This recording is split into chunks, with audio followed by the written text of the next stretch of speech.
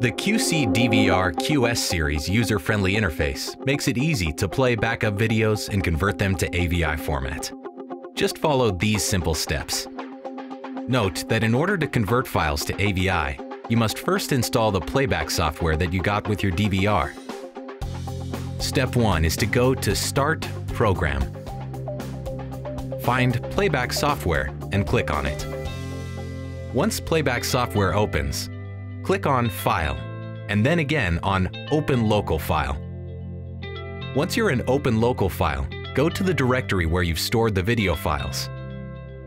On File Name type, select 264 Files. Next, click the file list and then click Open. In Step 2, you click on the arrow sign at the bottom to extend the screen and menus. Then, click on the play button to play the video. Now, you're ready to start converting the video to AVI. Click on the ST button. Step 3 is to click on the AVI button.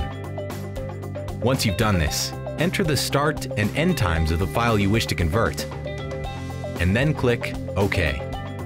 That completes step 4. Step 5 is to enter the file name, set the file destination, and then click Save.